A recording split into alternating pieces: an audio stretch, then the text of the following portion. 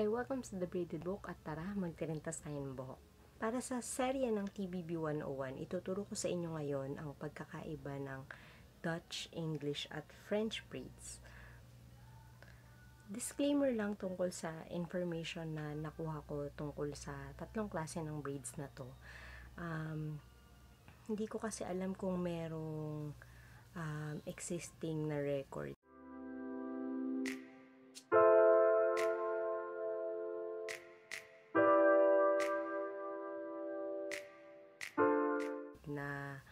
uh, yun yung pwedeng pagbasihan talaga para sa impormasyon ng tungkol sa pagkakaiba ng braids na to. Pero yung nakuha kong impormasyon ay base na rin sa kung paano siya ginagamit ng um, iba't ibang braiding um, enthusiasts and even experts. So, simulan na natin sa term na pinakamadali siguro pagdating sa pagpapaliwanag at ito yung English braid.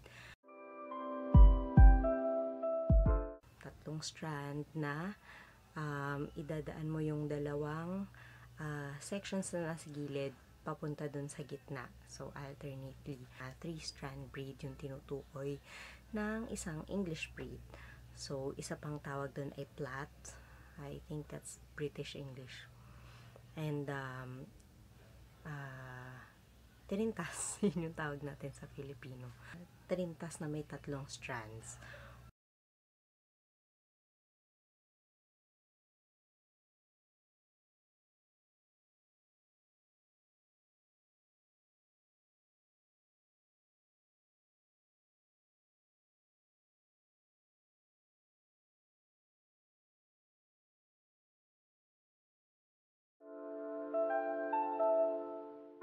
Kapag sinabing French braid, ang gagawin mo lang ay yun yung magdadagag ka ng mga nakalugay na bahagi ng buhok mo doon sa original strands ng braid na ginagawa mo. Kailangan mong kumuha ng section mula sa nakalugay na part ng buhok at isasama mo dun sa original na strand na braid na ginagawa mo.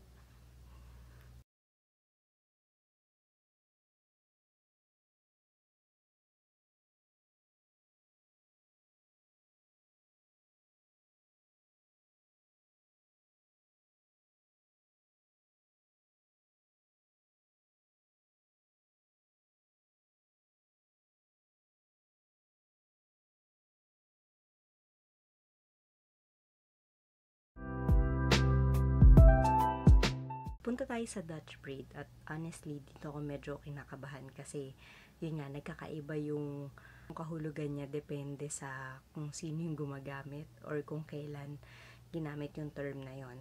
Para naman sa Dutch braid, uh, karamihan sa uh, hair enthusiast and experts, uh, ang tinutukoy nito ay yung similar sa French braid pero baliktad yung paraan ng pagtirinta. So, sa, sa Dutch braid, yung strands sa gilid ay idadaan mo sa ilalim ng gitnang strand.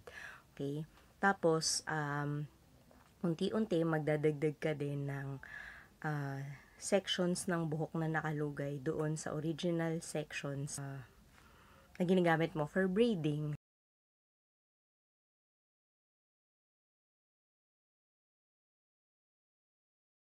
So, yan ang tutorial ko tungkol sa pagkakaiba ng Dutch, English, at French braid. Sana nakatulong itong video na to para mas maintindihan nyo yung iba't ibang termino na ginagamit sa uh, braiding o sa pagtitinintas. At um, kung sakaling meron pa akong maisip na magandang um, ipaliwanag or i-share tungkol sa breeding terminologies o kaya breeding history, malay natin. Abangan na lang ninyo sa mga susunod pang video na gagawin ko. Hanggang sa muli, paalam! Thank.